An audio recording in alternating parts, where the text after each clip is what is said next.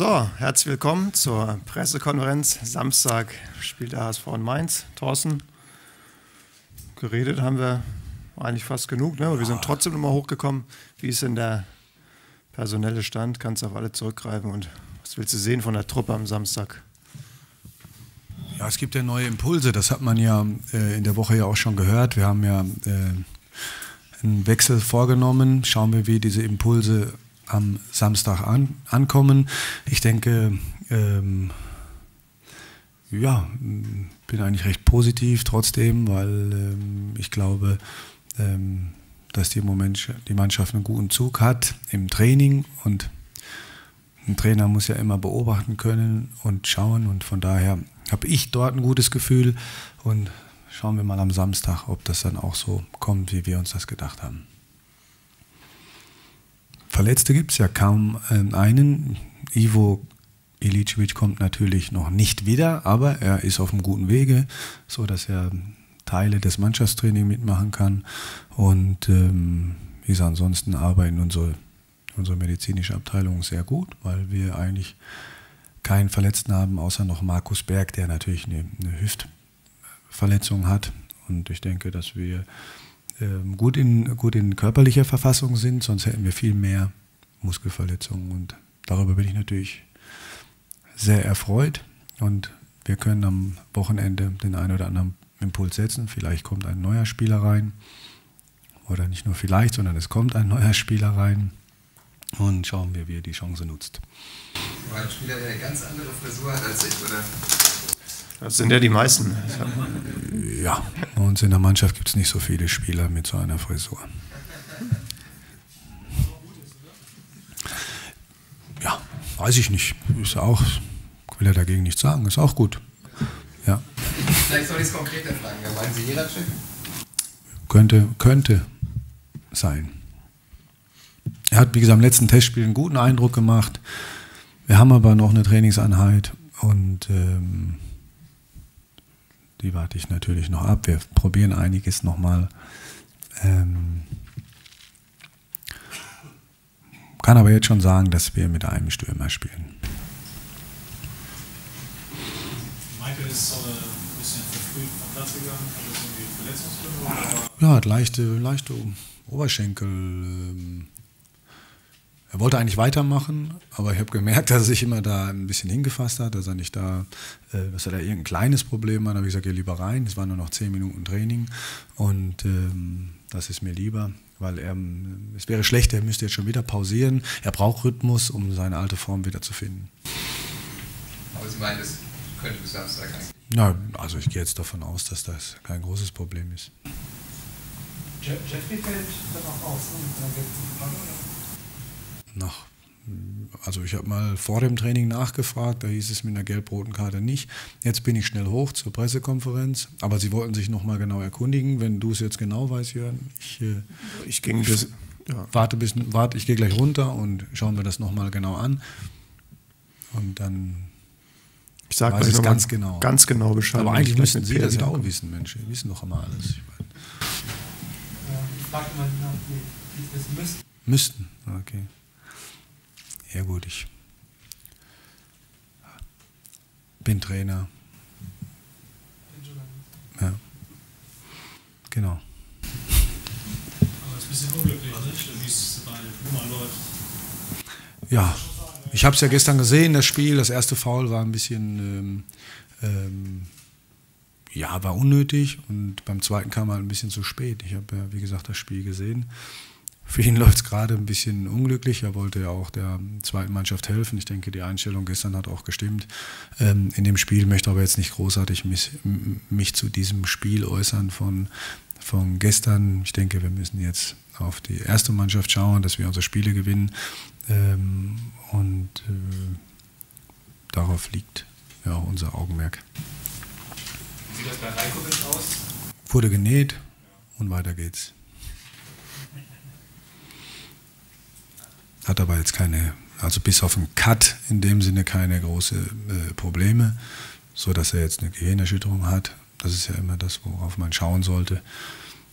Und von daher ist das kein Problem mitzufahren. was eben von neuen Impulsen, also auch den Kapitänswechsel an. Ähm, ja.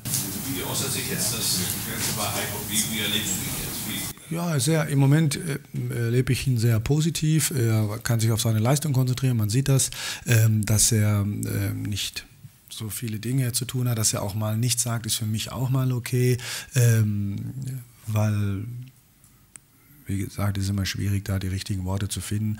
Und er will sich wirklich auf seine Leistung konzentrieren, dass er wieder die Leistung bringt, die er auch in der Hinrunde gezeigt hat. Ich habe ja auch gesagt, dort war er ähm, derjenige, der die besten statistischen Werte hatte, ist der Bundesliga, zumindest die, die wir zusammengestellt haben. Es gibt ja immer andere. St ähm, ähm, ja, und da denke ich schon, dass wir da gut gearbeitet haben mit ihm und ähm,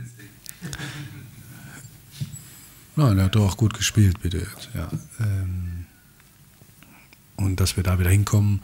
Und ich glaube, ähm, ich bin der festen Überzeugung, das geht so, deswegen habe ich das ja auch gemacht. Wir haben ja hier schon oft gefragt, auch nach Zielen und so weiter, Saisonzielen. Ist es jetzt, ja. ja ist es jetzt äh, vielleicht Aufgabe oder auch erstmal so ein, so ein naja, tatsächlich so ein Devise oder ein Ziel zu sagen, Mensch, wir wollen jetzt wieder einen äh, richtigen Geist reinkriegen, eine Stimmung reinkriegen, diesen Verein auch wieder mal ein bisschen mitnehmen und was Positives entwickeln in den nächsten Wochen? Ja, ich habe mir ja Gedanken gemacht, was wir äh, machen können, um, um, um einen Wechsel wieder zu, zu schaffen. Ähm, ins Positive jetzt, weil wir hatten auch in der Hinrunde eine sehr schwere äh, Zeit. Gerade in der Anfangsphase spielen dann gegen Borussia Dortmund hier zu Hause, wo keiner einen Pfifferling auf uns gegeben hat.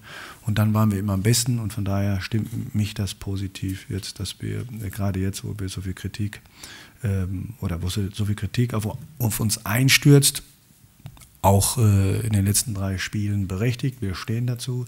Aber jetzt äh, kann die Mannschaft wieder zeigen, ja, wo keiner, kein Mensch mehr von Europa redet, dass wir äh, eine Mannschaft sind, die auch ähm, Mainz schlagen kann und trotzdem weiß, dass Mainz auch eine gute Mannschaft ist. Hast du äh, eine Erwartung bzw. Eine, eine, eine Hoffnung oder eine Forderung an Raphael, was er jetzt Ja, noch mehr auf die Mannschaft äh, einwirken. Ähm, das ist ganz klar, ähm, dass er merkt, dass er jetzt auch enorm wichtig ist. Ich habe ja mit ihm auch gesprochen und nicht einfach gesagt, du machst das jetzt, sondern ich habe gespürt, dass er das gerne machen würde und ähm, dass er damit hervorragend umgeht und er das auch gerne macht, ohne jetzt äh, Heiko jetzt die Binde wegnehmen zu wollen. Und es ist auch keine Herabsetzung von Heiko. Ich denke, wie gesagt, das ist nur zum Wohle im Moment äh, von ihm und äh, ich glaube, dass wir dort jemanden haben, der jetzt mit der Situation hervorragend umgeht, der Vize-Weltmeister war und der damit auch ganz gut umgehen kann. Und gerade er hat ja auch in der Hinrunde für den Umbruch gesorgt bei uns. Ähm, er sagt, er fühlt sich topfit und ähm, ist bereit dazu, die Mannschaft zu führen. Und ähm, dem, darauf freue ich mich. Was zeichnet denn Mainz aus und wie stark sind die ja, taktisch ähm, sehr gute Mannschaft, die sehr gut eingestellt ist vom Trainer immer auf den Gegner, wirklich, wo man äh, genau aufpassen muss, ähm, was man tut, denn sie nutzen diese Fehler auch direkt aus. Sie sind, ähm, waren immer sehr heimstark, im Moment hält sich das, glaube ich, auch ähm, die Waage. Und ähm, ein Trainer, der sehr äh, äh, explosiv, impulsiv ist, aber der das auch auf die Mannschaft äh, im positiven Sinne überträgt. Trotzdem wissen wir auch, sie haben ja auch ein Spiel verloren. Wenn sie weiter dranbleiben wollen, ähm, müssen sie ja auch gewinnen, das wissen wir. Und wir wollen das auch mal ausnutzen, wie andere Mannschaften das bei uns machen. Eine Nachfrage noch zu welcher Position du Ja, äh, schauen wir. Er kann mehrere Positionen spielen. Dass er jetzt nicht ähm, derjenige ist, den ich als Linksverteidiger aus, äh, ausbilden will oder weiter fördern will, ist klar. Dass das dort nur äh, eine Notsache mal war, als ich ihn dort spielen lassen wollte. Aber letztendlich im Mittelfeld, aber mehr zentral als, aus der Außen, auf, als auf der Außenlinie, Außenbahn. Trotzdem in unserem System, da wir ja immer mit ähm, zwei Mittelfeldspielern auf der Außenbahn spielen, die sehr zentral spielen, kann er dort auch spielen. Er kann mit zwei Mann auf einer auf der Acht praktisch spielen, auch im Mittelfeld. Also von daher ähm, ist er sehr flexibel. Deswegen haben wir ihn ja auch gekauft, weil er mal, er kann sogar halbrecht spielen, ähm, halb links, er kann zentral spielen vor der Abwehr. Aber für mich ähm, zu zweit dann ganz alleine denke ich ähm, nicht so aber auf der 8 sehr wohl. Wäre Madej dann der Mann hinten?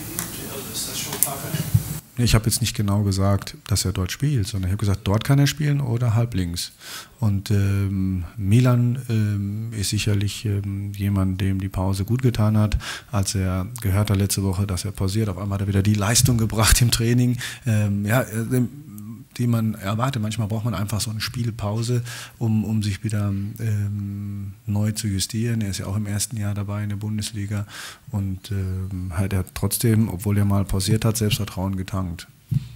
Auch im Spiel jetzt gegen, gegen äh, Lübeck fand ich ihn sehr, sehr aktiv und voller Selbstvertrauen, was ich eigentlich die letzten Wochen davor nicht so gespürt habe. Das Thema junge und alte Spieler, dass das da Probleme geben soll, wie nehmen Sie das wahr in der Mannschaft? Ja, gibt es nicht. Das sind immer Dinge, die dann irgendeiner aufbringen will, der, der kein Trainer ist. Ich merke, ob irgendwelche Probleme da sind. Und die Probleme, die da sind, sind in jeder Mannschaft. Das ist völlig normal, wenn der Ball mal nicht aufgepumpt ist, dann sagt der Ältere, ihr muss die Bälle aufpumpen völlig normal, dass nicht jeder immer mit dem Jungen einverstanden ist, mit den jungen Spielern einverstanden ist, ist klar. Aber ich denke, ähm, derjenige, der sich mal daneben genommen hat, wurde, glaube ich, gut bestraft von uns und ähm, auch hat sich selbst bestraft auch.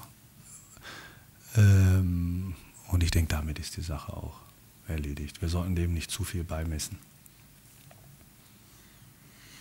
Gut, vielen Dank, Thorsten. Viel Erfolg Samstag. Ja, danke.